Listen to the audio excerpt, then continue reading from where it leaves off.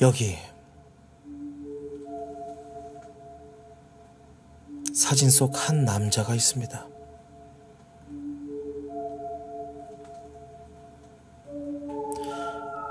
그는 멋진 포부를 가지고 있었는데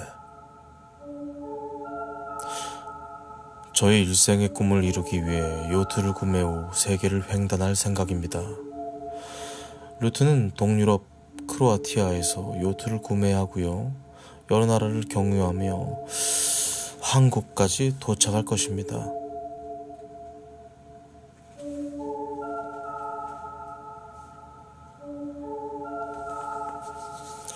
요트로 멋진 세계 일주를 기획한 한 남자. 그는 곧장 그의 계획대로 크로아티아에 도착하게 됩니다. 이제 구매할 요트를 보러 가볼까요? 아담한 프랑스제 요트를 구매했습니다. 아담하지만 안에 침실과 화장실 등 작지만 있을 건 다 있다고요. 거기에 태극기도 달아주고 여러 절차들을 다 마쳤습니다. 이제 출항하기로 하죠.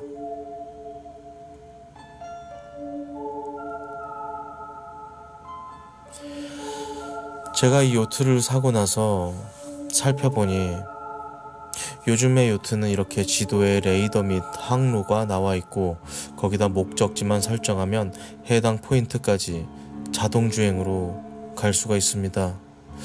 어, 정말 편리하네요. 이것만 있으면 옛날처럼 항해사나 그런 게 필요 없을 정도예요.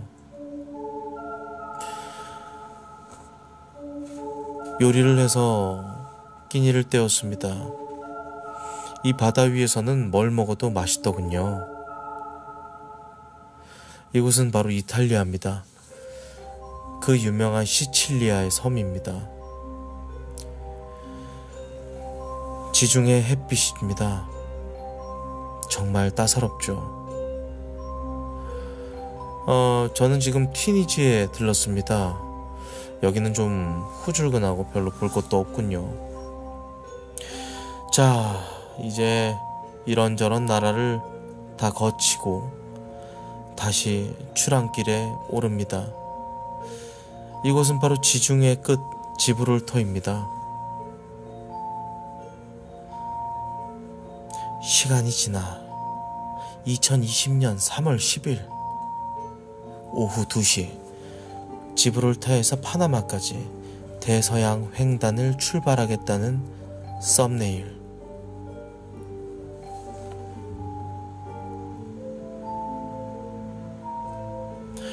목적지는 카리브해입니다. 약 5,000m 정도 된다고 하네요. 5,000km 정도 된다고 합니다. 제가 벌써 대서양을 횡단한 지 한 달째입니다.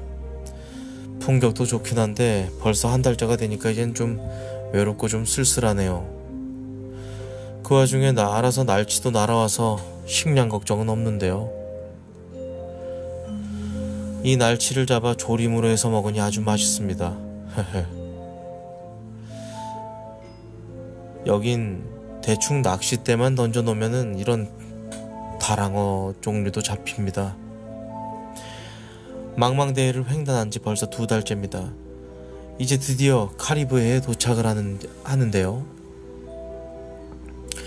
운하 통과를 에이전트가 접수하면 접수 번호가 문자로 오게 됩니다. 이곳은 파나마입니다. 파나마 운하를 이용하기 위해 왔습니다. 개인 요트 운하가 이용료가 무려 300만 원입니다. 아, 어쨌든 이제 파나마를 지나 다시 태평양으로 항해합니다. 모터로 가면 시속 40km, 도출표가 무동력으로 가면 시속 10km 정도로 갈 수 있는데요. 중간중간 많은 편집이 있었지만 우여곡절 끝에 하와이에 도착했습니다. 하와이 풍경이 정말 좋군요.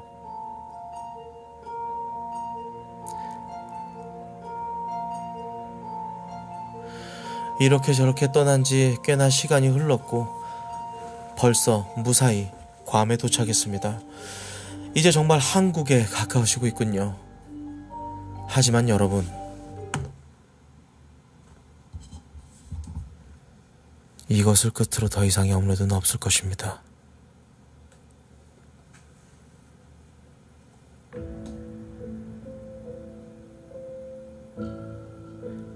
그에게 무슨 일이 있었을까요? 태풍에 휩쓸리기라도 했을까요? 아니면 해적이라도 만난 것일까요?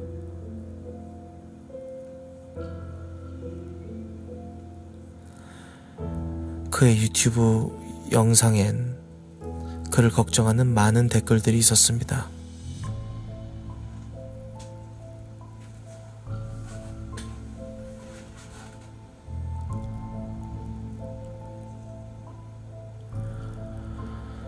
아, 소식이 없어 궁금했는데 영상 보니 반갑군요.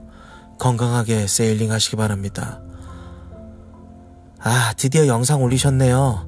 하와이 이후 영상이 없어서 내심 걱정도 좀 했습니다만 재밌게 보고 있습니다. 3개월 전. 영상이 안 올라와 걱정이 됩니다.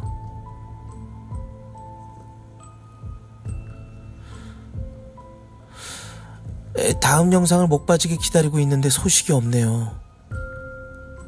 아직 도착 안 하셨나요? 슬슬 걱정되는데요. 괌에서 경남까지 들어오는 영상은 왜 공개 안 하십니까?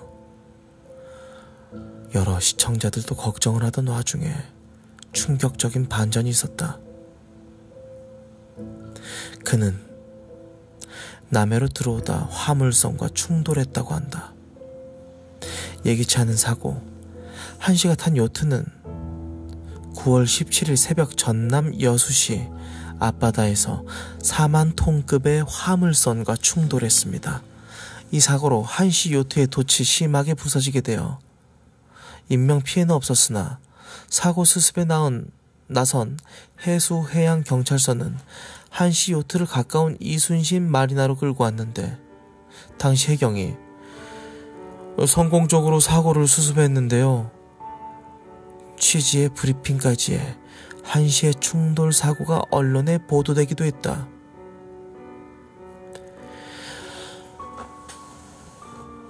항로나 해로로 출입고 가는 사람은 내국인이든 외국인이든 반드시 세관 출입국 사무소 검역을 거쳐야 하는데 요트 사고 후 코로나19 사태가 심각한 상황이었던 만큼 한 씨는 검역, 검역 절차부터 밟아야 했습니다. 여수 검역소의 코로나19 검사 결과 그는 음성 판정을 받았는데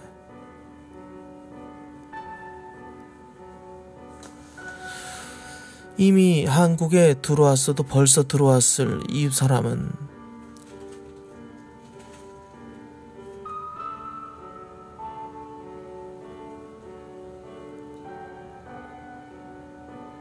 뜻밖의 매체를 통해 그의 소식을 알게 되는데 궁금한 이야기 Y 479회 6억만 주면 결혼해준다던 선주 씨는 왜 돈만 받고 한수 씨 곁을 떠났을까?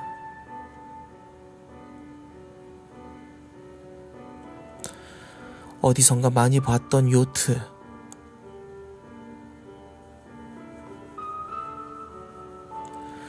그녀와 결혼하는 유일한 방법.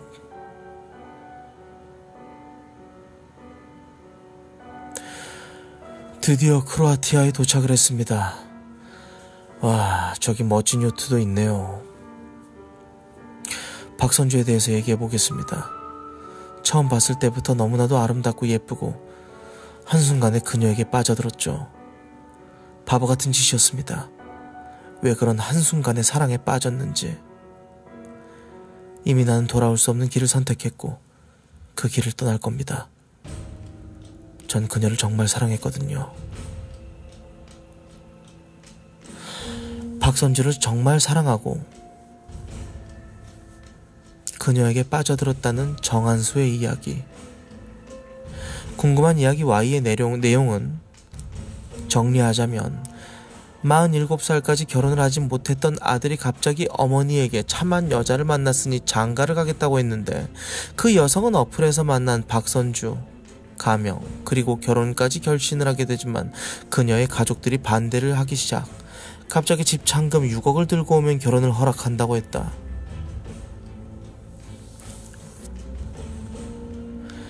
하지만 그녀는 돈 때문에 그를 속인 것이었고 수억을 갈취하고 도망친 것이었다.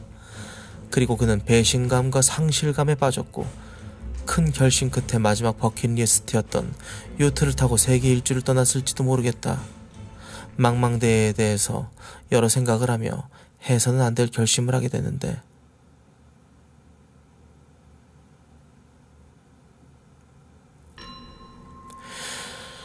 그는 괌에서 출발하여 필리핀에 도착했고 그곳에서 불법 총기를 구매했었다고 한다. 그리고 한국 영해까지 도착을 했지만 남해안에서 루메, 루마니아 국적의 화물선과 충돌을 해버리게 되는데 곧바로 해경이 도착하며 인도대기에 이른다. 이대로라면 총기를 밀수한 사실마저 들켜버리게 되고 모든 게 끝나버릴 수 있었던 상황. 그는 해경의 눈을 피해 몰래 총을 가지고 도주한다. 그리고 그는 그녀의 내연녀였던 6억을 편취한 뒤 도망을 간 선주 씨를 만나러 세종시까지 가게 된다. 그녀와의 말다툼 끝에 결국 여성에게 밀반입한 총을 발사한다. 세종경찰서에 자수를 했고 다행히 여성은 목숨은 건졌는데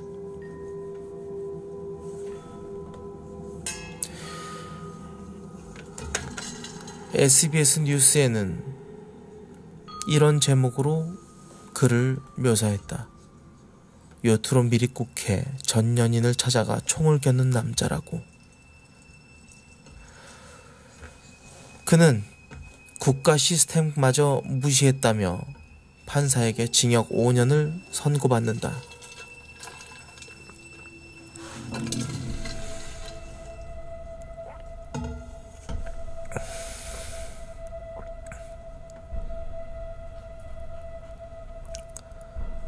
그의 행보를 지켜보던 구독자들, 이러한 댓글들이 있다.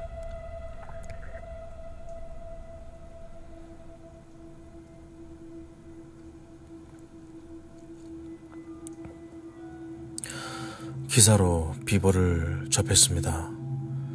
당신의 세계 여행 영상을 보며 즐거웠고 설레었던 저였기에 종종 봤던 영상도 다시 보곤 했었습니다. 세상 일은 단순히 선악으로 나눠지진 않는다고 생각합니다. 그렇기에 전 당신을 안타깝다고 생각할 뿐 나쁘게 생각하진 않습니다. 이분 행적이 참담하네요. 안타깝습니다. 죄값을 잘 치르고 새 출발하시길.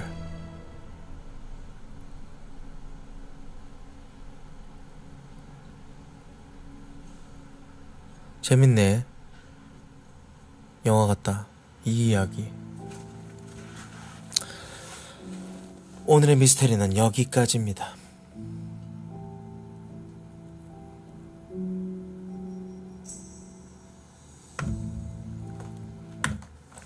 재밌네요. 재밌어요. 돈 요구하는 여자는 사람 새끼가 아닙니다. 예. 절대로, 절대로 끝까지 의심하시기 바랍니다. 돈을 요구하는 여자는 사람 새끼가 아닙니다. 끝까지 의심해서 그 농간에 놀아나지 않기를 바랍니다.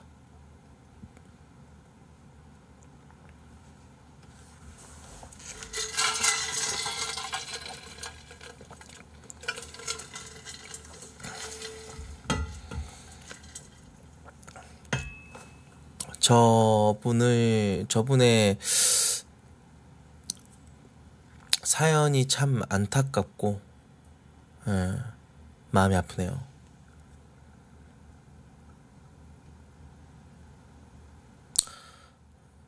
법으론 잘못됐다지만 참 마음으로는 응원하고 싶네요. 음.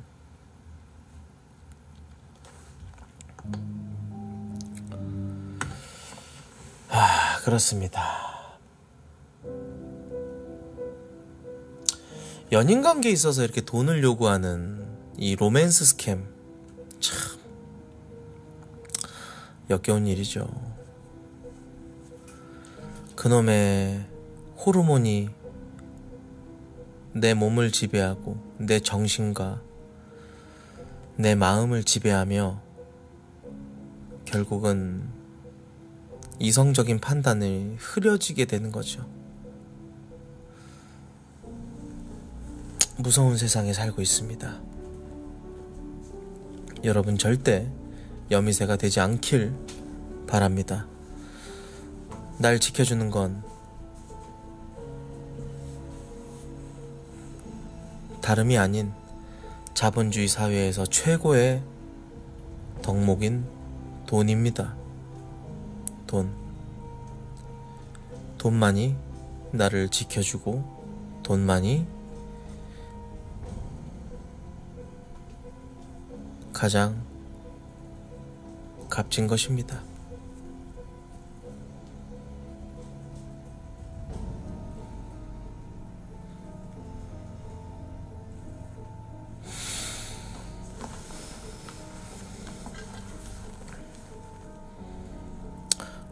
로맨스 스캠 치고는 6억은 꽤나 단위가 크네요. 예.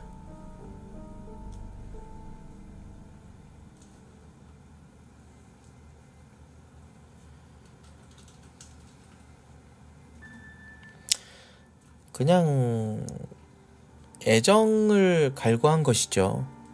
그 돈으로 잠깐 잠깐 어떤 호르몬의 영향을 풀어낼 수는 있겠으나 어떤 방법으로든 이렇게 심적으로 의지하고 어, 교류를 할 수 있는 어떤 진정으로 마음을 나눌 수 있는 그런 사랑이 필요했던 것이죠.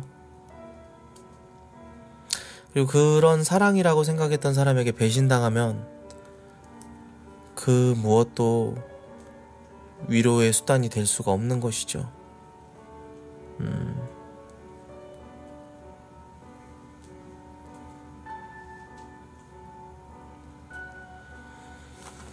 순진한 사람이네요.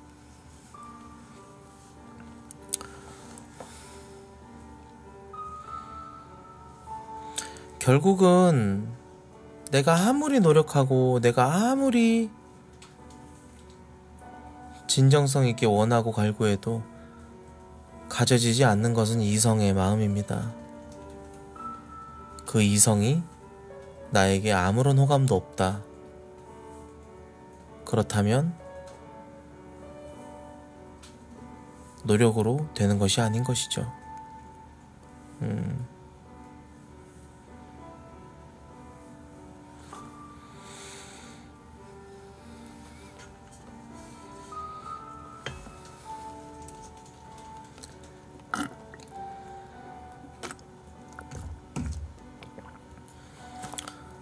교훈은 여자를 조심해라. 아니죠.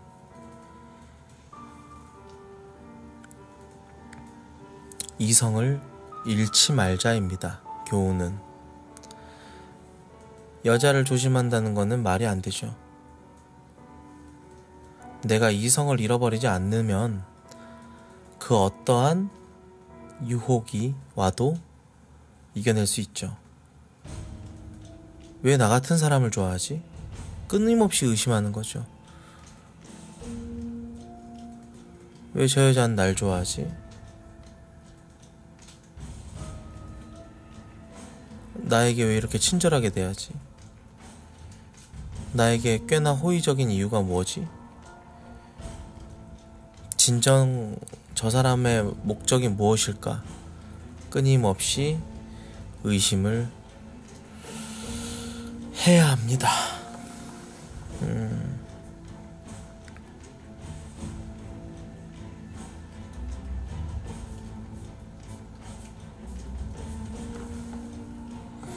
음. 마지막 저거 재밌다. 진짜 의외의 반전이 있었어. 어.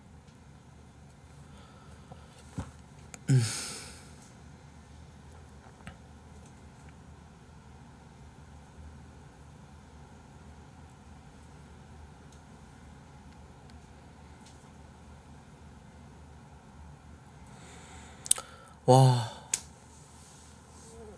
좀 있으면 6시네. 저는 오늘 여기까지 방송을 하고 마치도록 하겠습니다. 예. 여기까지 하고 마치도록 하고 저녁에 뵙고요.